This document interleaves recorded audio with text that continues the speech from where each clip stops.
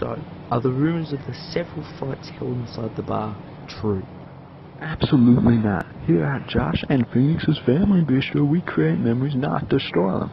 As we say, if you want to fight, do it right. Take it outside. So you support the act of fighting out the back of your bar?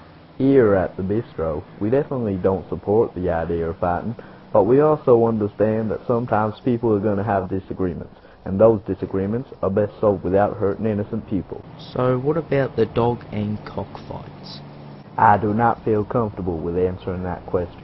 Do you understand that it is very illegal and immoral? We don't feel comfortable answering these questions. Can you please leave our premises? Are the reports of you taking the lives of your own regular customers true? God damn it, to hell with this stupid interview. We do not like the questions you are continuing to ask. Now get out. Sir, we just want the answers. I just want the answer as to why you weren't drowned at birth. Well, frankly, that's just disgusting behaviour. This place should be shut down immediately and you two lunatics arrested. Here at the bistro, do you think we like resorting to violence? We just do what we have to to make our bistro a loving family environment, and sometimes death is the only answer. Better not be running to no police or you're gonna rot in hell.